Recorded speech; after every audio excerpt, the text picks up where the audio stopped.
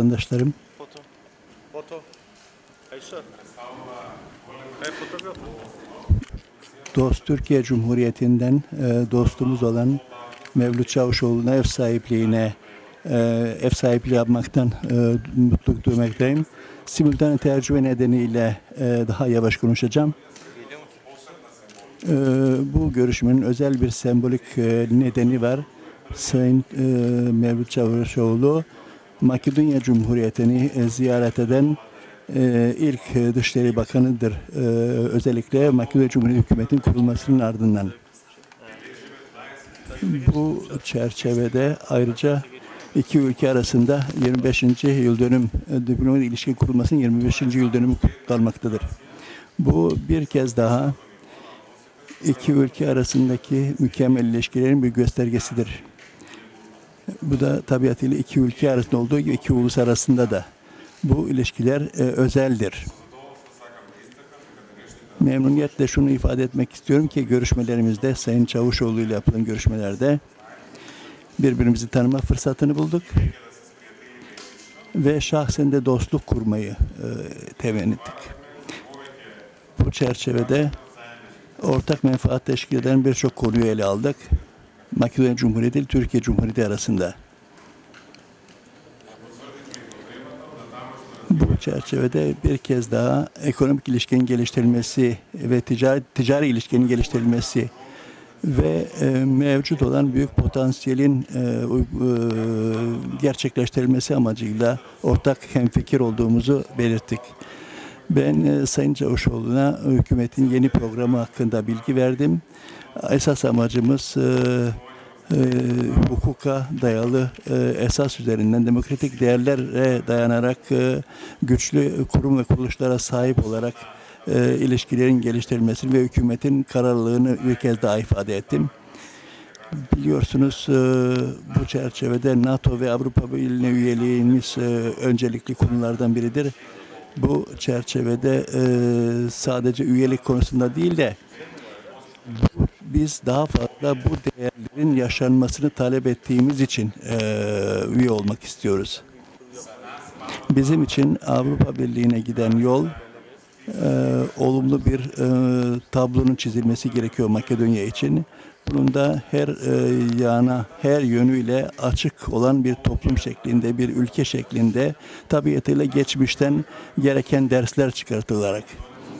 Bu ilişkiler tabiatıyla e, iki ülke arasındaki olduğu gibi bölgesel ilişkilerin de istikrarlı bir şekilde gelişmesine vesile olmasını diliyoruz komşu ilişkilerin geliştirilmesini ve tüm, tüm do- komşu ilişkilerle hem doğrudan komşu olduğumuz hem de e, doğrudan olmadığımız komşularla Türkiye Cumhuriyeti ile e, doğrudan sınırdaş olmamamıza rağmen e, biz bir komşu ülke olarak kabul etmekteyiz. Sayın Çavuşoğlu'na bizim büyük e, şükranlarımızı ifade ettim. Türkiye Cumhuriyeti'nin e, Makedonya Cumhuriyeti'nin a, NATO'ya ve Avrupa Birliği'ne bütünleşmesi yönü itibariyle bu destek bizim için e, hem gerekli hem de çok e, ihtiyacımız var. E, Bu e, e, görüşmelerde güçlendirilmesi bir kez daha e, kararlı bir şekilde ifade edilmiştir, teyit edilmiştir değerli dostum tarafından. E, Makedonya e, bu çerçevede Türkiye'nin kararlı e, tavırları nedeniyle özellikle bu mülteci sorununun aşılması yönünde çok müteşekkirdir Türkiye'nin tavırlarına. Bu Türkiye'nin bölgede ve daha geniş çapta istikrarlı bir unsur olmasından dolayı ve ayrıca e, bu modern e, e, ön yargılara cevap veren bir ülke olarak biz buna e, müteşekkiriz. Ben ben Sayın Çavuşoğlu'nun beyanatından sonra sözü sonra sözü size gazetecilere bırakacağım. Tabiatıyla sorularınıza e, mahal vereceğiz ancak tabiatıyla bu soruların iki ülke arasındaki ilişkiler çerçevesinde kalmasını diliyorum. Bir tabiatıyla bu iki ülke arasındaki dostane ilişkiler çerçevesinde olmasını. Buyurun Sayın Bakanım.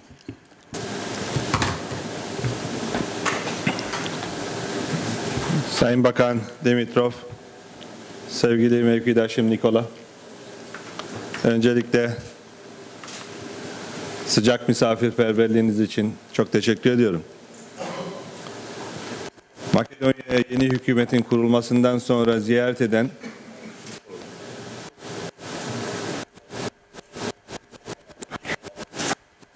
okay. Makedonya'ya yeni hükümetin kurulmasından sonra ziyaret eden ilk Dışişleri Bakanı olmaktan büyük bir memnuniyet duyuyorum. Sizler de takip ediyorsunuz. Bizim bölgemizde de ciddi sorunlar var, gelişmeler var, yoğun bir diplomasi çalışması var. O nedenle bir pazar gününe bu ziyareti e, sıkıştırdık. Ama pazar günü olmasına rağmen tüm yetkililerle görüştük, görüşüyoruz. Sayın Cumhurbaşkanı ile görüştük. Biraz sonra Sayın Başbakan Zayev'le de e, görüşeceğiz. Ve e, yeni hükümeti ve özellikle de e, dostum e, Nikola'yı tebrik etmek istiyorum. Başarılar diliyorum. Ve her zaman çalışmalarında e, yanında olacağımızı, destekçi olacağımızı Türkiye olarak bir kere daha vurgulamak isterim. Evet, e, bu sene e, diplomatik ilişkilerimizin tesisinin 25. yıl dönümünü kutluyoruz. 25 yılda çok önemli mesafeler kat ettik. Hem siyasi ilişkilerde ki gerçekten e, çok özel e, ilişkimiz vardır e, Makedonya ile. E, ve Balkanlarda Makedonya'yı e, Balkanların ötesinde sadece Ba- Batı Balkanlar değil, bölgenin istikrarı ve güvenliği için çok önemli bir ülke olarak görüyoruz. İkili ticaret hacmimizde artış var. 460 milyon dolara çıktık ama potansiyel de var. Türk yatırımları ciddi şekilde arttı. 1.2 milyar dolar da civarında. Bunun iki katına, üç katına çıkması için e, iş adamlarımızın ilgisini görüyoruz ve bunu da başarmak mümkün. Kültürel ilişkilerimiz, eğitimle ilgili her alanda ilişkilerimiz gerçekten e, çok mesafe kat etti. Ama bundan sonraki süreçte daha da geliştirmek için bugün e, birlikte ortak iradeyi e, irade koyduk. Öncelikle karşılıklı üst düzey ziyaretleri sürdürmemiz lazım.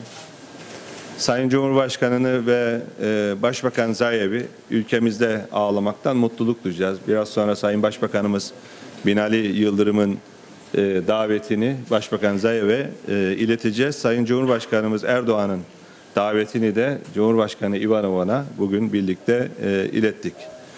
İlişkilerimizin kurumsal yapısını ve özellikle de hukuki altyapısını güçlendirmek için müzakere ettiğimiz anlaşmaları tamamlayacağız, imzalayacağız. Yenilerini müzakere edeceğiz. Ve inanıyorum ki e, ilişkilerimizi hak ettiği e, daha da ileri noktaya birlikte götüreceğiz. Uluslararası platformda da e, örnek teşkil edecek e, işbirliğimiz var. Türkiye'yi Makedonya her zaman her alanda desteklemiştir. Sadece uluslararası örgütlere yönelik adaylıklarımızı değil, her al- alanda. Biz de Makedonya'yı aynı şekilde hep destekledik. Bundan sonraki süreçte de destekleyeceğiz. Makedonya Avrupa Atlantik entegrasyonunu hak ediyor. NATO üyeliğini en çok hak eden ülkedir. Suni isim gibi suni engeller ortaya çıkarılması gerçekten bölgeye de haksızlıktır. Makedonya'ya da haksızlıktır. Biz Makedonya'nın NATO üyeliğine bundan sonra da en güçlü şekilde destek vermeye devam edeceğiz. Aynı şekilde Avrupa Birliği'ne ve Avrupa ülkelerine de Makedonya'ya ve bu bölgeye iç işlerine fazla karışmadan daha fazla yapıcı ilgi göstermelerini de teşvik etmeye devam edeceğiz. Çünkü bu bölgenin istikrarı Avrupa'nın istikrarı demektir. Avrupa'nın güvenliği de buradan başlar. Türkiye ve Batı Balkanlardan başlar. Bu konuda ortak anlayışımızın olduğunu bugün görmekten ayrıca mutluluk duydum. Yine TİKA'nın Makedonya'da e, faaliyetleri devam edecek, destekledikleri proje sayısı artarak devam edecek. Diğer alanlarda da işbirliğimiz yine güçlenecek. Biz Makedonya'da yaşayan Türk toplumunu e, Türkiye ile Makedonya arasında önemli bir köprü olarak görüyoruz. Aynı taş köprü gibi. E, diğer taraftan buradaki Türk toplumunun Makedonya'ya gönülden bağlılığını ve sadakatini görmekten de mutluluk duyuyoruz. Ve her türlü haklarından da hiç bir engel çıkarılmadan faydalandığını görüyoruz. Hükümette varlar, bürokraside varlar, iş dünyasında. Gerçekten işte entegrasyon budur. Esasen farklı etnik grupların, dini grupların uyum içinde e, yaşaması bakımından Makedonya e, Avrupa'ya ve ötesine örnek bir ülkedir. Ve her zaman bunu her platformda da söylüyoruz. Makedonya bizim için çok önemli bir ülke ve ortaktır. Ve bu önemli dost e, ülkeyle ilişkilerimizi daha da geliştireceğiz. Bugünkü ziyaretimin esas esasen özü budur. Makedonya'ya olan desteğimiz ve ilişkilere verdiğimiz önemin göstergesidir. Ben tekrar çok teşekkür ediyorum. Bugün e, dostum Nikola ile tanıştık. İyi de anlaştık Ve önümüzdeki süreçte birlikte e, çok çalışacağız. Bundan emin. Çok teşekkür ediyorum.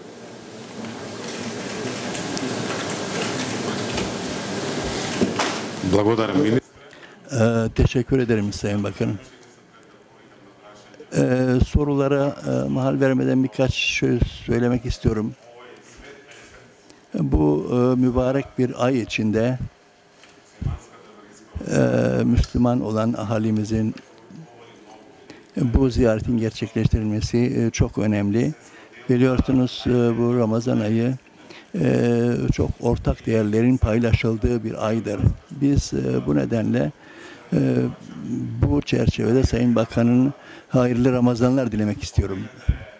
Buyurun sorularınızı sorabilirsiniz. Çil.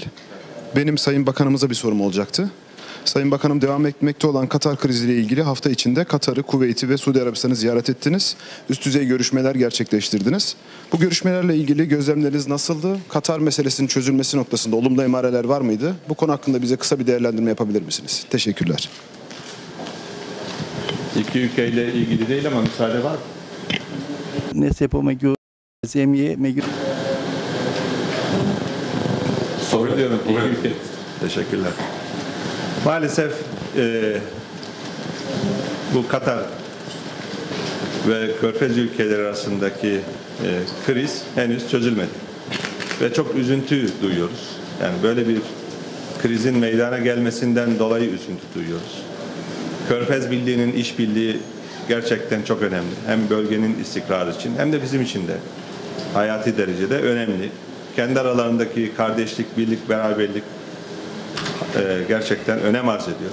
Çünkü bölgenin karşı karşıya kaldığı zorluklar var, sınavalar var.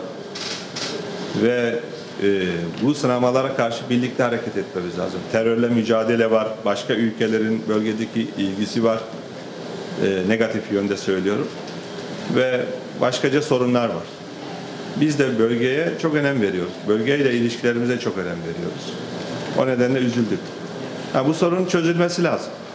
Sorunun çözümü esasen basit. Katar'a yönelik iddialar var, suçlamalar var. Katar da bunları kesin bir dille reddediyor. Kaldı ki biz de yani böyle bir ambargonun insanlara yönelik ambargonun doğru olmadığını da söyledik. Bu taraf tutmak anlamında değildir. Yanlışı kim yapıyorsa bunu söylemek lazım. Ee, diğer taraftan e, bazı suçlamalara örneğin terörle teröre destek verdiği gibi suçlamalara katılmadığımızı da biz söyledik. Ama neticede bir iddia var, suçlama var. Karşı taraf da bunu reddediyor. O zaman en kolay formül nedir? Nedir suçlamalarınız? Detayları nedir? Belgeler nedir? Delilleri nedir? Ortaya koyun. Sonra oturup birlikte konuşalım ve atılması gereken hangi adım varsa atılsın. Yani diyalog yoluyla, barış yoluyla e, ve e, karşılıklı anlayış ve saygı yoluyla bu iş çözülür. Yani yasaklamalarla, ambargolarla, bugün işte Rusya'ya da ambargolar var. Tüm Batı dünyası, Avrupa birleşti.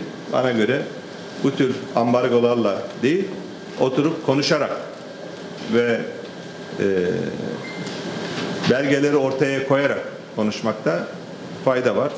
Ama insanlara yönelik e, alınan tedbirleri de doğru bulmuyoruz. İnsanların günlük hayatını her ne kadar uygulanmasa da doğru bulmadığımızı da söyledik. Bu konuda da bazı karşılıklı yani güven arttırıcı adımın atılması konusunda da önerilerimiz de oldu. Bu ziyaretlerimiz gerçekten bu anlamda çok faydalı oldu. Hem ara buluculuk yapan Kuveyt'i dinleme fırsatımız oldu. Hem Katar'ı sorunun bir tarafı olan hem de Suudi Arabistan'ı dinleme fırsatımız oldu. Ve e, düşüncelerimizi, temennilerimizi de bu ülkelere de aktarma fırsatımız oldu. Sayın Cumhurbaşkanımız Erdoğan'ın ve Türk milletinin mesajlarını da tüm bu dost ve kardeş ülkelere anlatma fırsatımız oldu. Biz e, uluslararası alanda da çabamızı sürdüreceğiz. Türkiye İslam İşbirliği Teşkilatı zirve başkanlığını yürütüyor. Sayın Cumhurbaşkanımız bu başkanlığı bizzat yürütüyor. Sayın Cumhurbaşkanımızın uluslararası alandaki çabalarını herkes görüyor. Hem Suudi Arabistan hem de Katar bunun için müteşekkir olduklarını da e, söylediler. Ama bundan sonra da sorunun çözülmesi için bu çabalarımızı samimi bir şekilde e, sürdüreceğiz. İnşallah netice alırız. Çünkü e, beklemediğimiz bir e, kriz ve bizi üzen bir kriz ve çözülmesinden de büyük bir mutluluk duyacağız. Teşekkür ediyorum.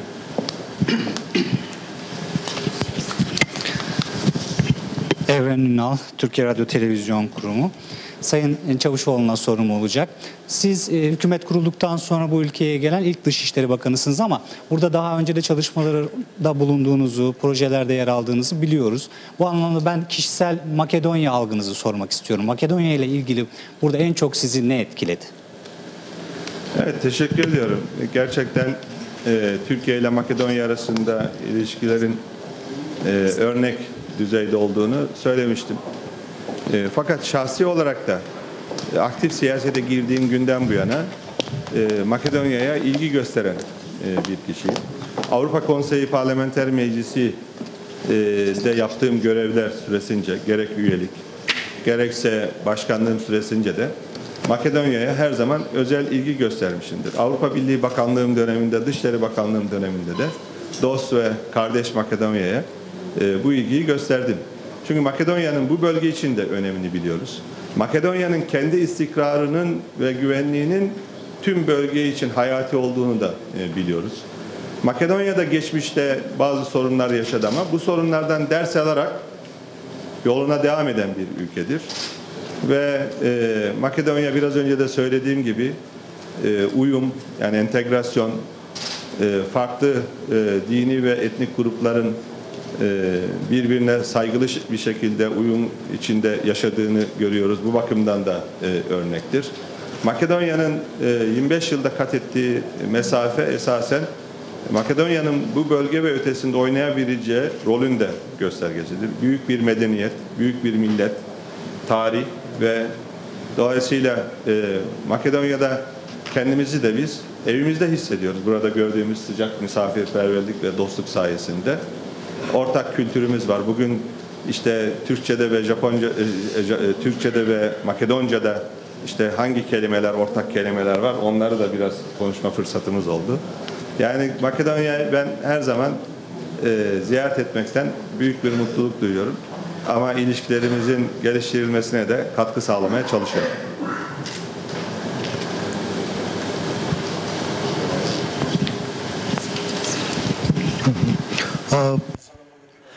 Soran Bogatino Makedonya Televizyonu'nda. Sayın Dışişleri Bakanları. Makedonya Avrupa Birliği bütünleşme süreci ne çaba sürüyor. Makedonya'nın öncelikli e, politikalarından biri özellikle e, Zaev'in başkanlığındaki yeni hükümetin. Bu NATO'ya üyelik konusunda her iki bakana bir sorum olacak. Türkiye'de Makedonya anayasal ismi e, ile tanıyan ülke ve NATO'nun tüm belgelerinde dipnot olarak belirtilen bir husustur. Bu çerçevede e, isim konusunda bunu anayasal değişikliklerle mi e, sorun çözümlemesine gidilecek? Yani biliyorsunuz NATO üyelik konsensüs ile alınan bir karardır. Yani 29 üyenin bu sorunun bu şekilde ne şekilde halledebileceğini düşünüyorsunuz? Teşekkür ederim. Da belki de çok basit belki düşünürsünüz ama e, isterseniz ben isterseniz Sayın Bakan'a sözü vermeden ben birkaç söz söyleyeyim. Birkaç gün önce bir ilk ziyaretim oldu Atina'ya. E, Meslektaşım Kutsiyas ile esasında hukuken e, bizde e, durumlar temiz. Yani geçici bir anlaşmamız var 95 yılında imzalanmış olan. E, Lahey Adalet Divanı'nın almış olan kararı var. 2011'de. Bu kararda herhangi bir şekilde Makedonya'ya NATO'ya üyelik konusunda herhangi bir engelin olmaması gerekir. Bunun çünkü geçici e, isim ile e, kabul edilmesi e, şartı konulmuştur. Ben şunu çalışacağım. Hem Yunanistan'ın da menfaati ne olacaktır?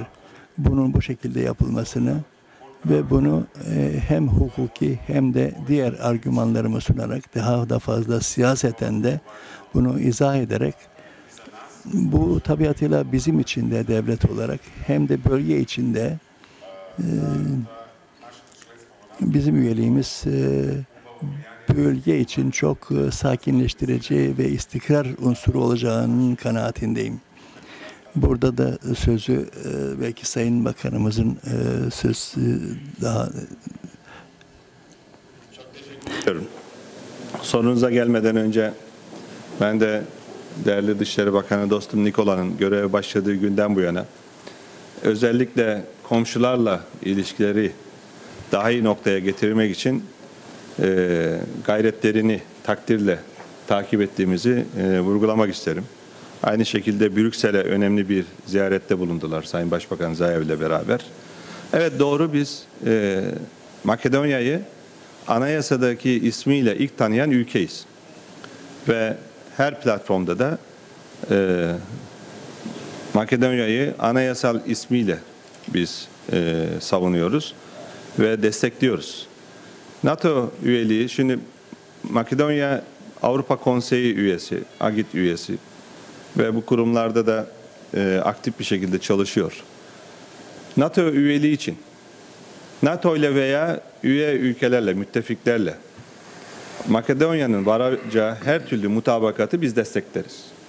Burada önemli olan Makedonya'nın karar vermesidir ve Makedonya'nın vereceği e, kararların arkasında dururuz ve bunu uluslararası platformlarda da savunuruz. Bizim tutumumuz budur. Önemli olan burada Makedonya'nın ne diyeceğidir.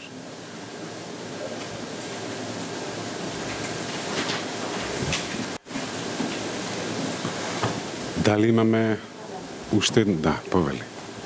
A, moje prašenje do 20 ministris. Her iki bakanı ekonomik ilişkilerle ilgili olarak Makedonya e, 10 yıllarca büyük işsizlik sorunuyla karşılaşmakta. Siz her zaman e, dostane bir tavır sergilediniz ve Makedonya çok daha büyük bir ülkesiniz ve yeni hükümetle e, daha da büyük e, doğrudan yatırımlar imkanlarını görüyor musunuz? Bu işsizlik sorunun veya azaltılması veya halledilmesi ve bu konuda iki ülke arasında ileride atılacak olan adamlar neler olabilir? Her şeyden önce e, bir de bu çerçevede daha önce mevcut olan rüşvet olaylarının sorunların ne şekilde halledileceğini. Με Bu çerçevede biz bu konuyu da görüştük. Ee, Bizim bildiğimizde e, yatırımlar konusunda Türkiye Makedonya, Türkiye Cumhuriyeti Makedonya'da 6. sırada ve e, yıllarca hep ilk 10 e, sırada bulunmaktadır e, iki ülke arasındaki ilişkiler açısından.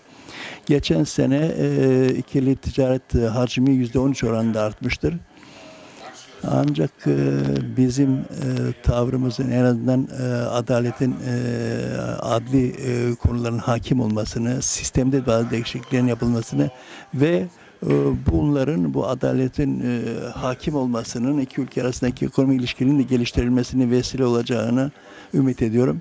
Ve e, Makedonya'daki bu mevzuata, e, kanunlara riayet ne kadar yüksekse bunlar tabiatıyla hem Makedonya'daki iş adamları için hem de yabancı iş adamları için bu kadar iyi olacaktır. Biz e, ayrıca ortak e, yatırım e, ve iş konularında ortak toplantıların düzenlenmesini Sayın Bakan'a sözü bırakacağım çünkü bildiğim kadarıyla Büyük Türk'ün e, yatırımlar konusunda büyük talepleri var. Onlar ilgi gösteriyorlar. Önce söyledim. Türkiye'nin Türk firmaların buradaki yatırım miktarı 1.2 milyar dolar civarında. Ama Makedonya'ya yatırım yapmak için ilgi gösteren Türk firmalara baktığımız zaman e, bu rakamı katlayarak gidebiliriz. Türkiye'nin en büyük firmaları Ma- Makedonya'ya girdi ve giriyor. Burada yatırımcıları teşvik etmemiz lazım. Ve Türk ve Makedon firmalarını da bir araya ortaklık için bir araya getirmemizde fayda var. Ama yatırımın Türkiye'de olsun, Makedonya'da olsun, tüm dünyada yatırım önündeki en büyük engel bürokrasidir. O yüzden e, bürokrasiyi azaltıcı birlikte adımlar atmamız gerekiyor. Zaten hukuki altyapısını güçlendirmek için yatırımların karşılıklı teşvik edilmesi ve korunması anlaşmalarımız, çifte vergilendirmenin önlenmesiyle ilgili anlaşmalarımız var. Bunları gerektiğinde güncelleriz. Hukuki altyapımız var. Fakat bürokrasiyi azaltıp firmaların önünü açmamızda fayda var. Ve Türk firmaları burada büyük yatırımlara giriyor. Ve her yatırımda tabii ki işsizliğin azalmasına ve istihdamın artmasına e, vesile oluyor. Biz aldığımız tedbirlerle e, iktidara geldikten sonra e, bizden önce yılda ortalama 1 milyarlık yabancı doğrudan gelen küresel yatırım miktarını kriz öncesinde yılda 22 milyar dolara çıkardık. Ve şu anda da 16-17 milyar dolar civarında ki bu rakamı arttırmak için adımlar da atıyoruz. Ve eminiz birlikte çalıştığımız zaman e, burada Türk firmalarının yatırım e, miktarını e, ve sayısını e, arttırırız. Arttırmamamız için hiçbir engel yok.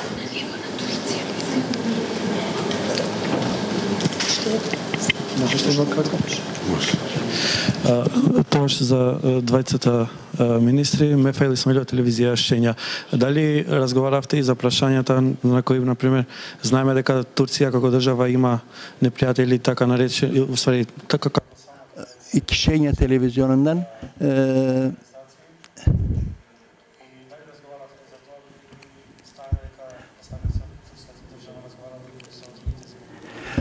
bu çerçevede e, özellikle e, terörle mücadele konusunda iki ülkenin de bu konuda ortak e, girişimlerde bulunduğunun ve e, daha önce de bazı girişimlerin taleplerinin bulunduğundan hareketle e, bu konuda gündeme geldi mi, ele alındı mı? Terör ortak düşmanımız. Terör örgütleriyle de birlikte mücadele etmemizde fayda var. Türkiye hemen Suriye'nin yanı başında, Irak'ın yanı başında, komşu, sınır komşusu olan bir ülke, iki ülkede. Ve maalesef bu iki ülkedeki e, mevcut durumdan da etkilenen bir ülke. Ama mücadelemizi de kararlılıkla sürdürüyoruz. DAEŞ'e karşı içeride ve dışarıda mücadelemizi sürdürüyoruz. Ama terör sınırları aşan bir tehdittir. Ve hiç kimse Suriye'deki bir sorundan bana ne diyemez veya dünyanın başka bir bölgesindeki e, terör örgütünden ya da terör saldırılarından bana ne diyemez. Çünkü yerinden müdahale etmezsek terör size, size kadar geliyor. Şu anda DAEŞ maalesef Avrupa ülkelerini de hedef alıyor. Amerika'yı da hedef alıyor. Afrika ülkelerini de hedef alıyor. Afganistan'da hedef alıyor. Tabii biz transit bir ülkeyiz. Bizim üzerimizden Suriye'ye geçmeye çalışan çok terörist, yabancı terörist savaşçı oldu. Ve çok engellediğimiz, yakaladığımız, şu anda hapiste olan yabancı terörist savaşçılar var. Ve ülkesine iade ettiğimiz çok sayıda yabancı terörist savaşçı var. 55 bin civarında kişiye de ülkeye giriş yasağı koyduk. Bunları nasıl yaptık? Özellikle kaynak ülkelere yani bu yabancı terörist savaşçıların geldiği ülkelerle istihbarat ve bilgi paylaşımı gibi yakın işbirliği sayesinde oldu. Ve e, Balkanlardan da e, Suriye'ye, Irak'a geçen yabancı terörist savaşçılar olduğunu biliyoruz. E, Makedonya ve Balkan ülkeleriyle de bilgi paylaşımı, istihbarat paylaşımı konusunda da çok iyi bir işbirliğimiz var. Bu işbirliğimizi zayıflatmamamız gerekiyor çünkü tekrar ediyorum terör ortak düşmanımızdır ve birlikte mücadele etmemiz gerekiyor. Makedonya ile diğer uluslararası alanda da zaten iş bildiğimiz var. Ee, bundan da büyük bir e, memnuniyet duyuyorum.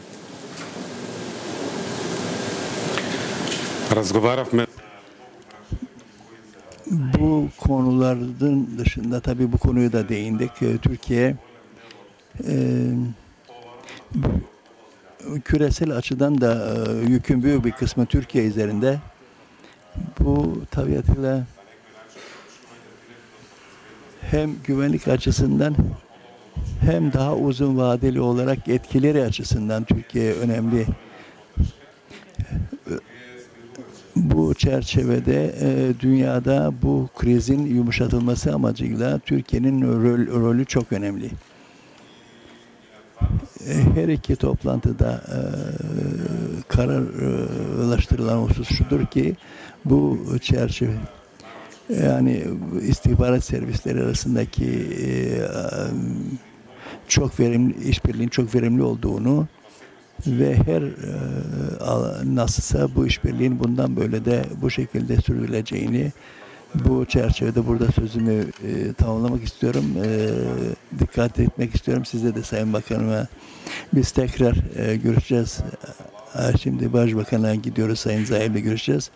Ondan sonra da ortak e, iftar yemeğinde buluşacağız. Belki de bu konular orada da tekrar görüşeceğiz. Tekrar teşekkürler.